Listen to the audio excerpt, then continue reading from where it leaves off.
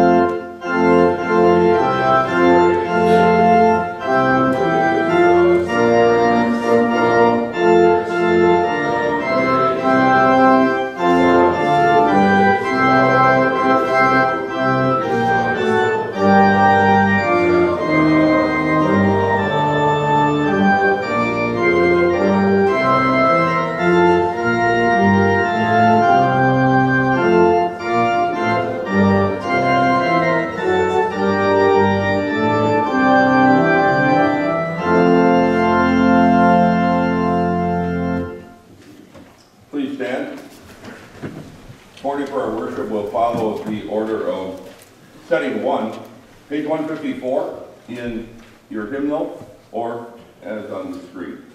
In the name of the Father, and of the Son, and of the Holy Spirit. Amen. If we claim to be without sin, we deceive ourselves, and the truth is not in us. If we confess our sins, God is faithful and just, and will forgive us our sins and purify us from all unrighteousness. Let us confess our sins to the Lord. Holy God, gracious Father, I am sinful by nature and have sinned against you in my thoughts, words, and actions. I have not loved you with my whole heart. I have not loved others as I should. I deserve your punishment both now and forever. But Jesus, my Savior, paid for my sins with his innocent suffering and death. Trusting in him, I pray. God, have mercy on me, a sinner.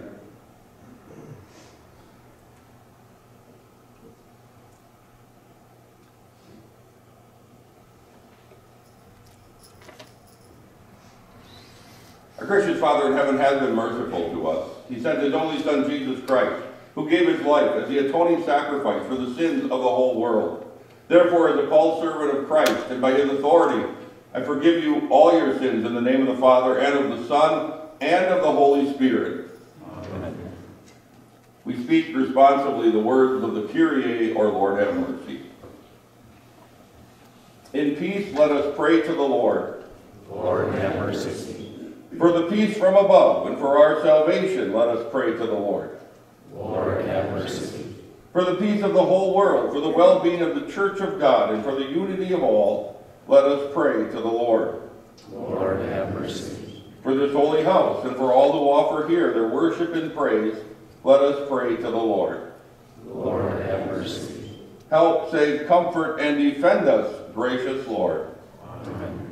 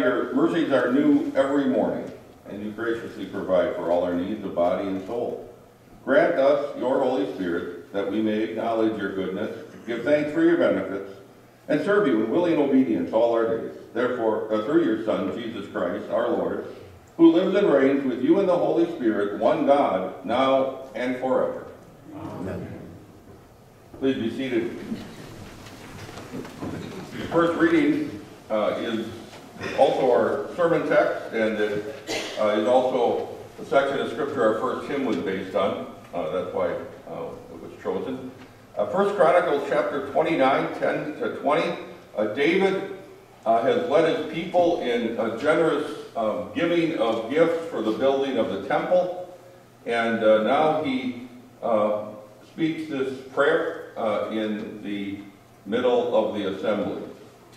David blessed the Lord in the presence of the entire assembly. He said, Blessed are you, Lord, the God of Israel, our Father, from eternity to eternity. To you, Lord, belong greatness, power, glory, victory, and majesty, because everything in the heavens and the earth belongs to you. You, Lord, are exalted as head above everything. The kingdom belongs to you. Riches and honor come from you. You are ruling over everything. In your hand are power and strength. It is in your power to make anyone great and strong. Now, our God, we are thanking you and praising your glorious name. Who am I? Who are my people that we are able to offer willingly like this? For everything comes from you. What have we given to you? What, what we have given to you came from your hand. We are aliens and temporary residents before you, as were all our fathers.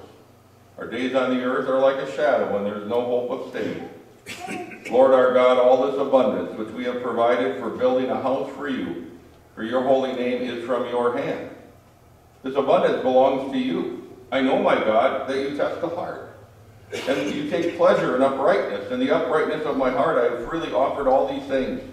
Now with joy I see your people who are present here to bring the offering freely to you.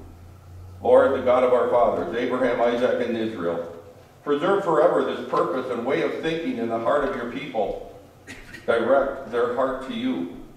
To my son Solomon, give an undivided heart to keep your commandments, your testimonies, and your statutes, to do everything needed to build the citadel for which I have made preparations.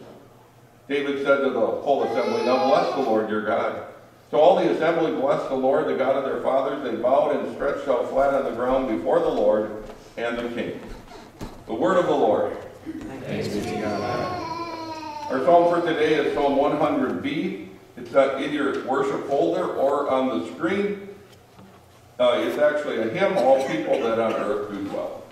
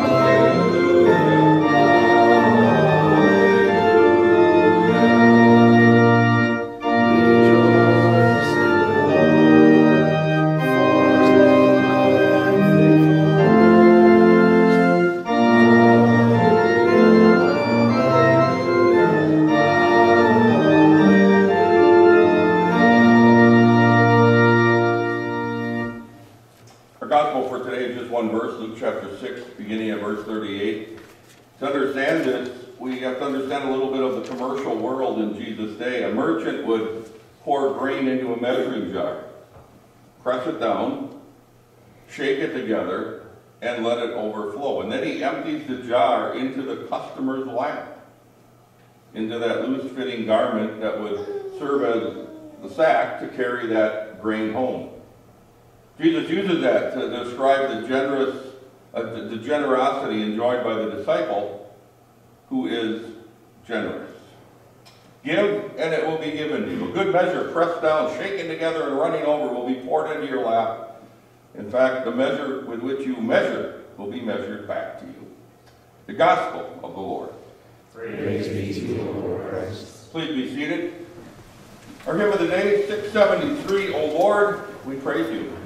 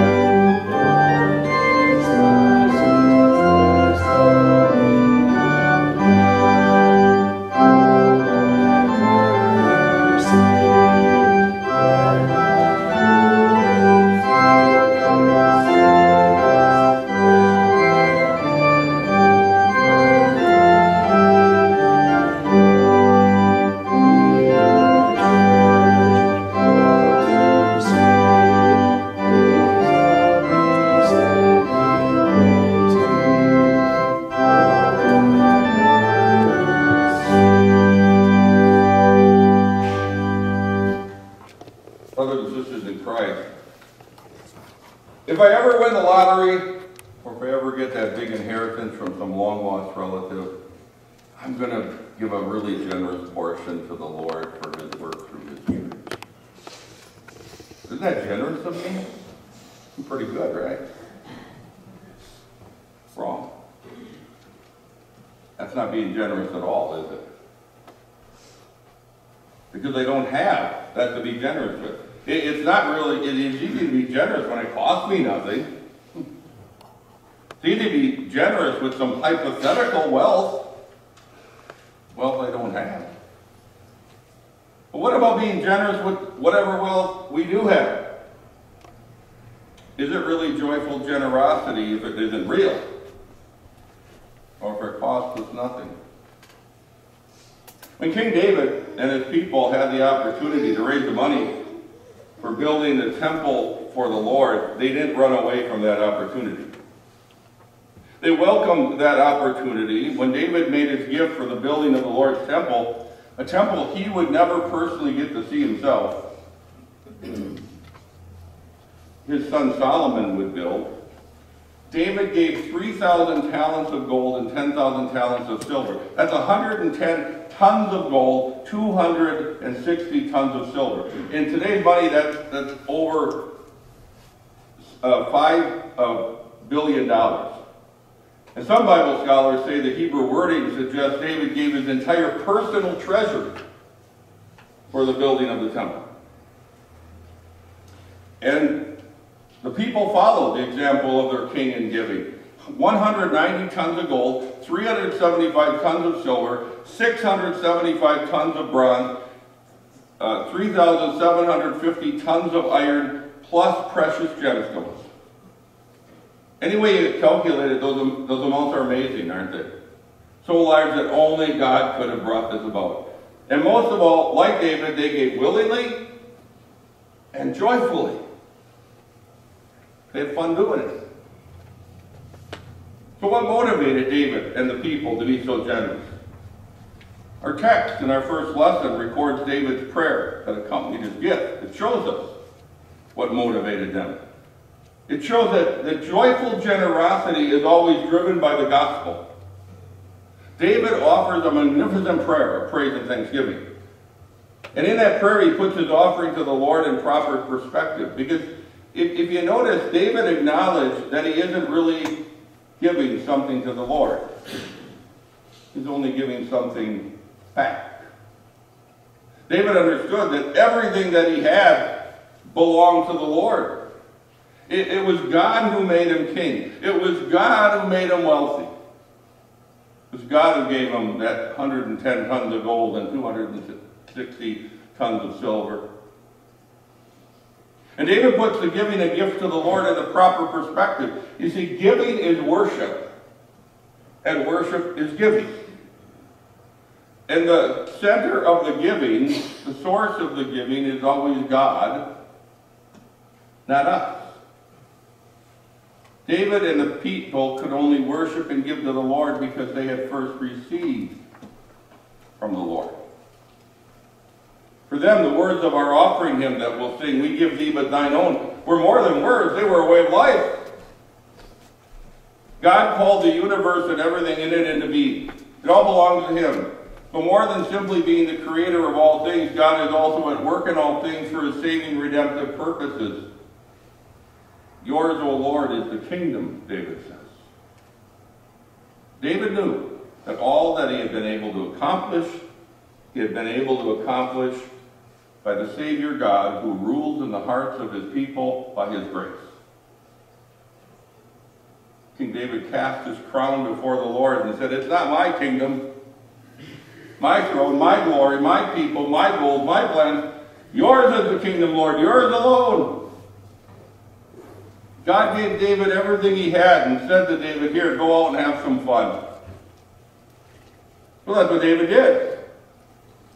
Giving all the gold and silver to build God's house was more fun for David than building another palace for himself, building a seaside or mountaintop resort, taking a royal vacation.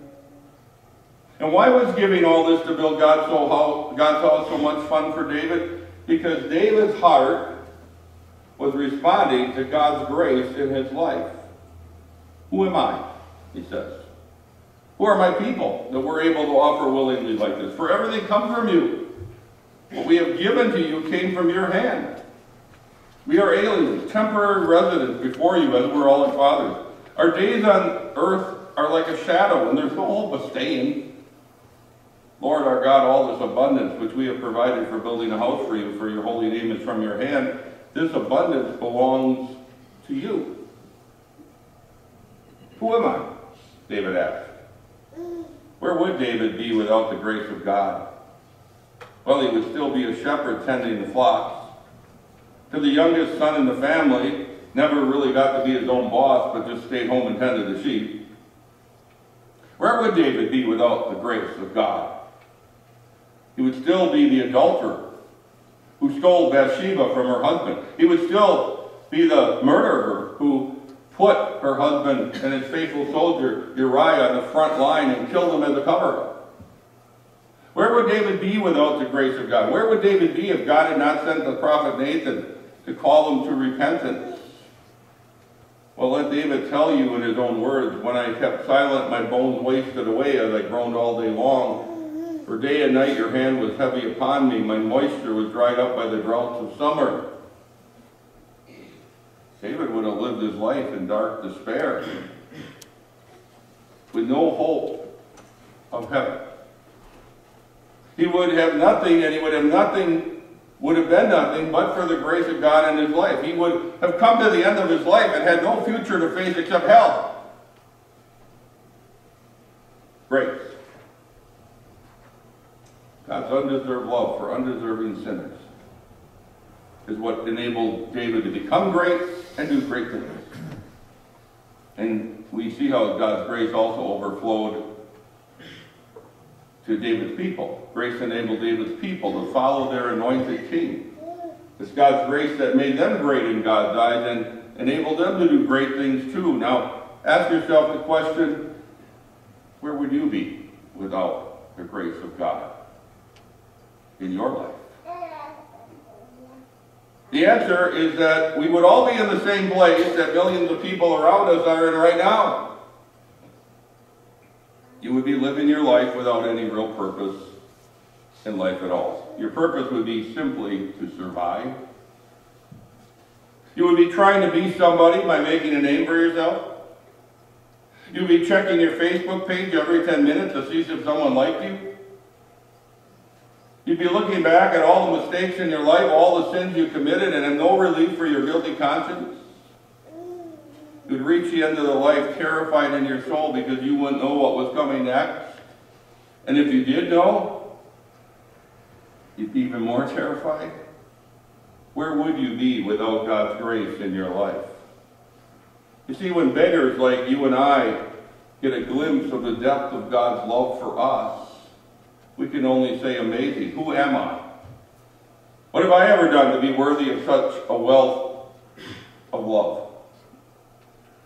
Thank God that you and I aren't without God's grace in our life. Instead, God in His grace has called you and I to faith in Jesus and has given us a kingdom, His kingdom, a treasure, a hope that we never deserved. And God in His grace continues to pour out that grace into our hearts and lives through His Word and His sacraments.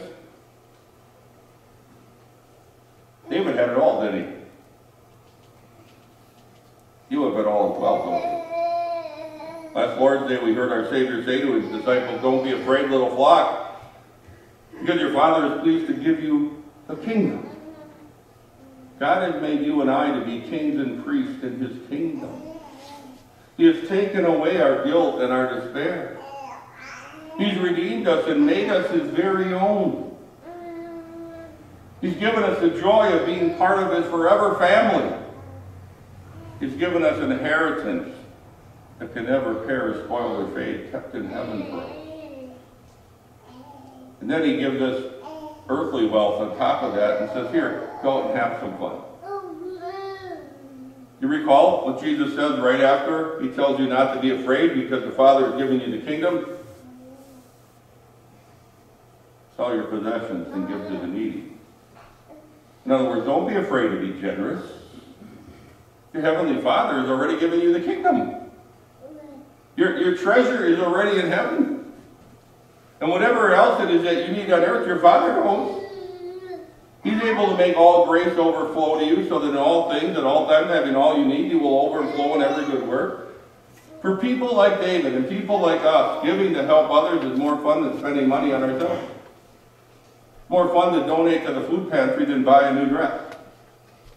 More fun to provide a scholarship to a student preparing for the ministry than to have to have that brand new car.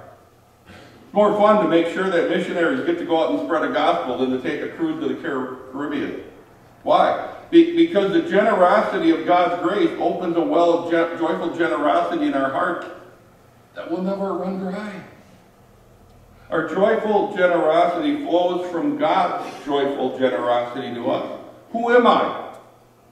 Who are my people that we are able to offer willingly like this? For everything comes from you. What have we given to you? What we have given to you came from your hand. Not only does the wealth come from God, but also the eager hearts that want to give. Not only the means, the motive. It's all God's gift to us. When you and I understand that, then you and I realize that we never really truly give to God, do we? We only receive. For even when we offer our time, our service, our abilities, our money, our worship to God. We're only returning to Him what He has first given to us. So we worship God as God, as the giver of every good and perfect gift. And we confess that we're beggars who depend on God's grace and mercy for everything. Joyful generosity, it's all a response to God's generosity and it's a response that prioritizes his kingdom. When it comes to Christian giving, what's most important is the motivation. Motivation is even more important than the amount that you give. There are many improper motives for giving. Some people give to give some, get something in return. They have a user-free mentality. You know, they might support the church's school or the church's Sunday school or youth activity, but only as long as their kids are involved. Or they might support programs, and activities of the church only as long as they agree with them and feel ownership and participate. Another improper motive is giving out of guilt or compulsion.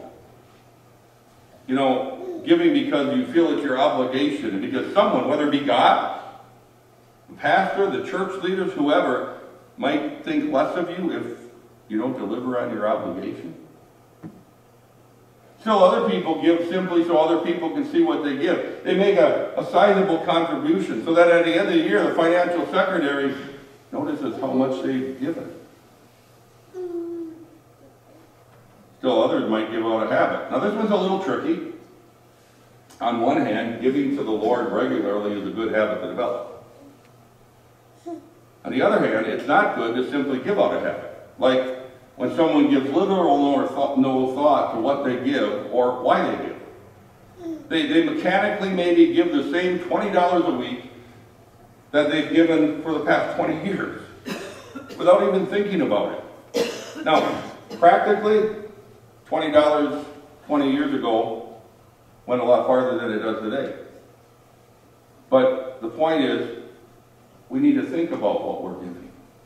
Someone might even give to feel good. And that's related to that guilt motivation. Only here the motive is to make themselves feel good by proving themselves, especially in comparison to others. But again, notice how selfish that is. I want to feel, we should feel good about giving. We should have joyful generosity. But if that's the only reason I give, then it's a really selfish reason, there, there are so many improper motives for giving to the Lord and to others, but there's only one proper motivation, one proper motivation, and that is love for the Lord and His kingdom. And you know we love because He first loved us, right? True Christian giving doesn't begin with me, it begins with God.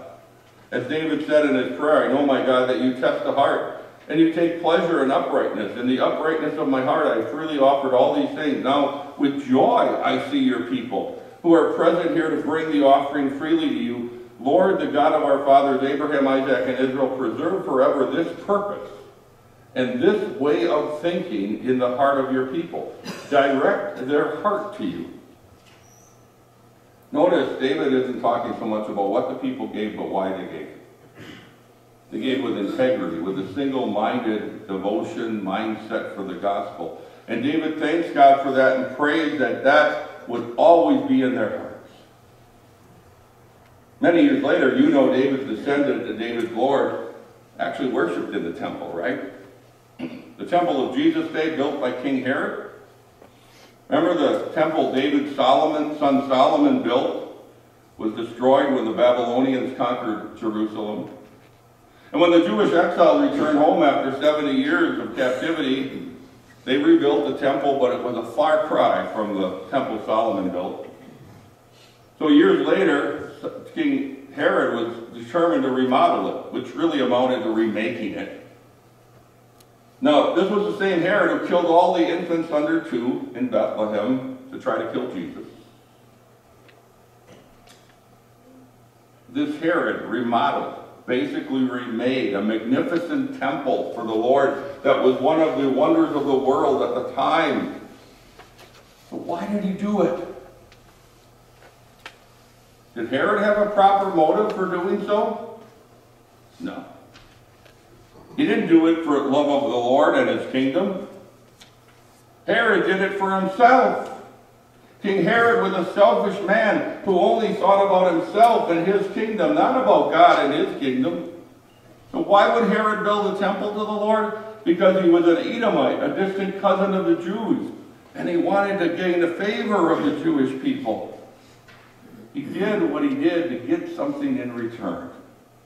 He did what he did for his own personal gain. There wasn't an ounce of integrity in Herod's heart and his generosity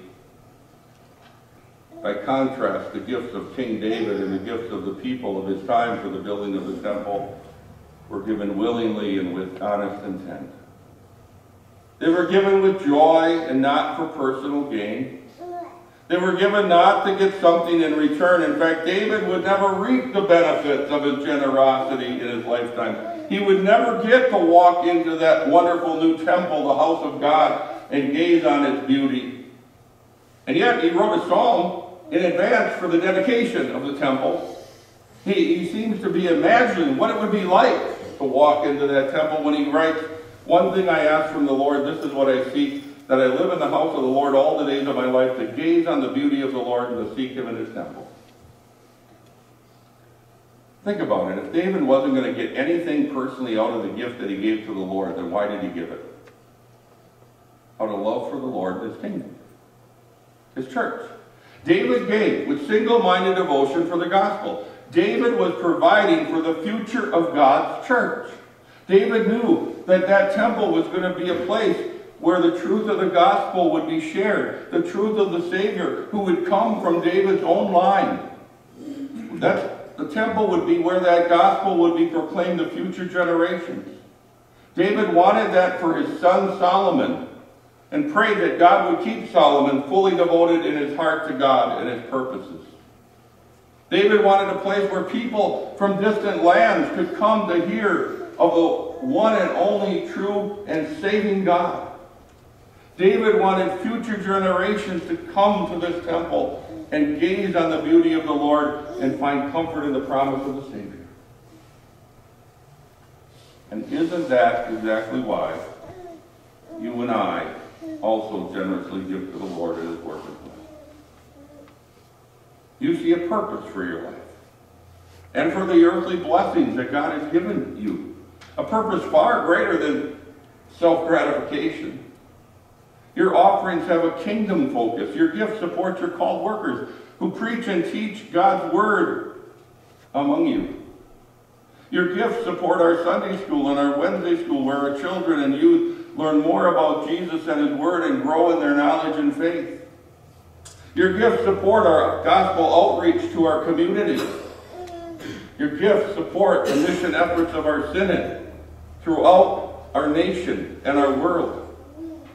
Your gifts support our synodical ministerial education schools so that future generations will have what we have, be able to hear the gospel in its truth and purity. You give your gifts so the people of this generation and future generations can gaze on the beauty of the Lord and find comfort in the promise of the Savior. What could we accomplish, brothers and sisters, together for God's kingdom if gospel driven, joyful generosity saturated each and every one of our hearts the way it did for King David and his people? Joyful generosity, gospel driven. It responds to the generosity of God's grace. It prioritizes God's kingdom. Brothers and sisters, pray that God would give you and I just such a heart. Amen. Please stand. Having heard the word of God, we confess our common Christian faith in the words of the Nicene Creed. We believe in one God, the Father, the Almighty, maker of heaven and earth, of all that is seen and unseen. We believe in one Lord Jesus Christ, the only Son of God, eternally begotten of the Father, God from God, light from light, true God from true God, begotten, not made, of one being with the Father. Through him all things were made. For us and for our salvation, he came down from heaven, was incarnate of the Holy Spirit and the Virgin Mary, and became truly human. For our sake he was crucified under Pontius Pilate. He suffered death and was buried. On the third day he rose again in accordance with the Scriptures. He ascended into heaven and is seated at the right hand of the Father. He will come again in glory to judge the living and the dead, and his kingdom will have no end. We believe in the Holy Spirit, the Lord, the giver of life, who proceeds from the Father and the Son, who in unity with the Father and the Son is worshiped and glorified, who has spoken through the prophets. We believe in one holy Christian and apostolic church. We acknowledge one baptism for the forgiveness of sins. We look for the resurrection of the dead and the life of the world to come. Amen. Please be seated for the prayer of the church, which is printed either on the screen or in your service folder.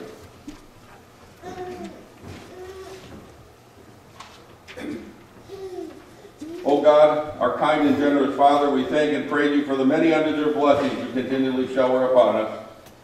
It is only by your grace that we, who are sinful, yes, even your enemies, can stand fully acceptable in your sight.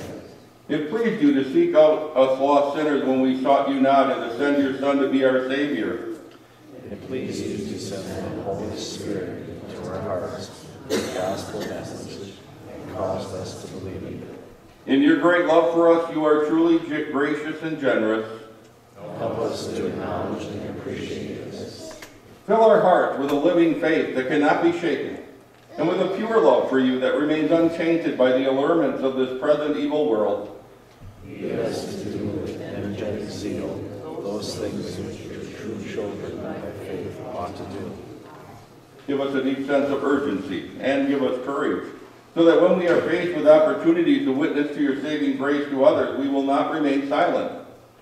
Open our hearts and give generously to your mission carried on by your church, that your gospel of grace may be proclaimed near and far. We bring our offerings of thanks and praise to you, O Father. May they be acceptable in, their, in your sight.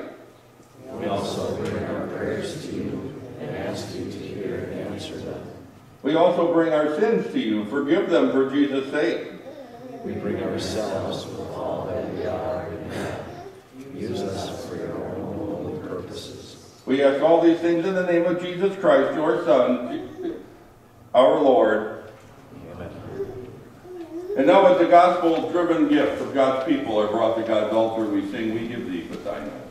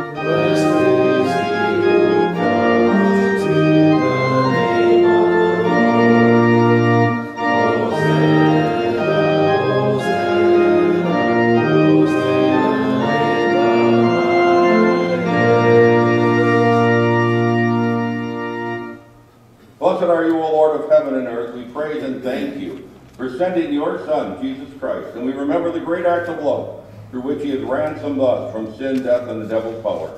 By his incarnation, he became one with us. By his perfect life, he fulfilled your holy will. By his innocent death, he overcame hell. By his rising from the grave, he opened heaven. Invited by your grace and instructed by your word, we approach your table with repentant and joyful hearts. Strengthen us through Christ's body and blood, and preserve us in the true faith until we feast with him and all his ransomed people in glory everlasting. And in his name we also join to pray. Our Father, who art in heaven, hallowed be thy name. Thy kingdom come, thy will be done on earth as it is in heaven. Give us this day our daily bread, and forgive us our trespasses, as we forgive those who trespass against us. And lead us not into temptation, but deliver us from evil. For thine is the kingdom, and the power, and the glory, forever and ever. Lord Jesus Christ, on the same night that he was betrayed, took bread, and when he had given thanks, he broke it and gave it to his disciples, saying, Take and eat, this is my body, which is given for you. Do this in remembrance of me. And then he took the cup, gave thanks, and gave it to them, saying, Drink from it, all of you. This is my blood of the new covenant, poured out for you for the forgiveness of sins. Do this whenever you drink it in remembrance of me. The peace of the Lord be with you always. Please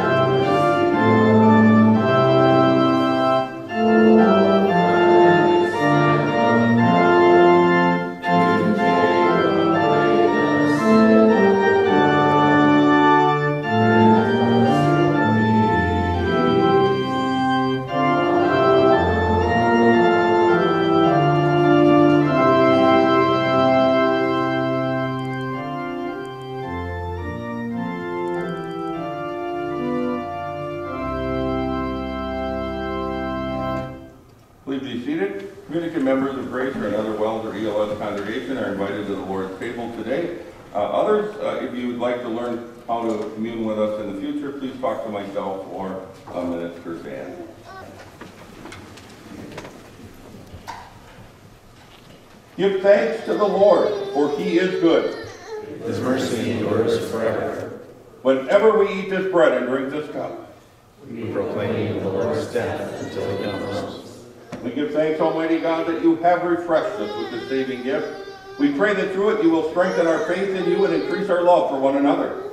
We ask this in the name of Jesus Christ, our Lord, who lives and reigns with you in the Holy Spirit, one God, now and forever.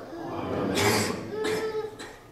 The Lord bless you and keep you. The Lord make his face shine upon you and be gracious to you. The Lord look upon you with favor and give you peace. Amen. Please remain standing as we sing hymn 716.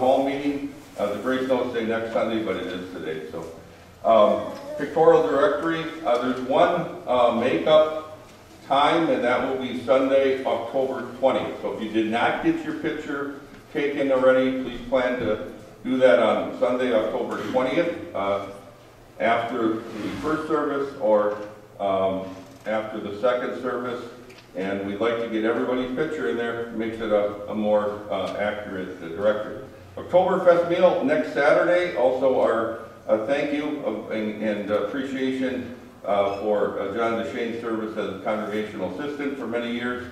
Um, and I'm supposed to announce this, otherwise Sherry's going to get mad at me. Um, that's what Mike said. Um, please announce Oktoberfest to sign up. There's a sign up sheet for desserts. Okay, so uh, if you like to make dessert, sign up. Um, I like eating them, so. Um, there's information about the, we're, we're starting a congregational assistance program. Uh, we'll be talking a little bit more about that at the town hall, explaining what that is. You can always ask us as well. But along with that, there's a, a, a course coming, and it's open for everybody. If you ever wondered why we worship the way we do, um, join us for four weeks beginning Thursday, October 17th from 6 to 8 here at Grace uh, for a course on biblical worship. Even if you don't want to do the congregational assistant program, you're welcome to join us.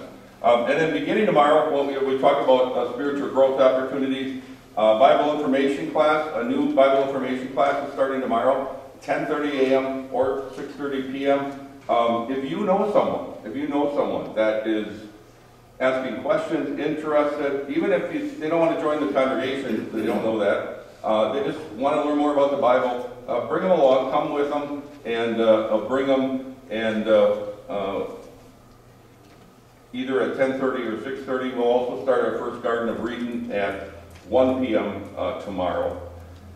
Rest, I'll let you read. Um, anything else, Minister Dan, that I forgot? No, I think you got it all. Okay. Uh, Jesus Lamb Jams for the kids, youth group, and adult Bible study uh, at 9.15. Have a good day.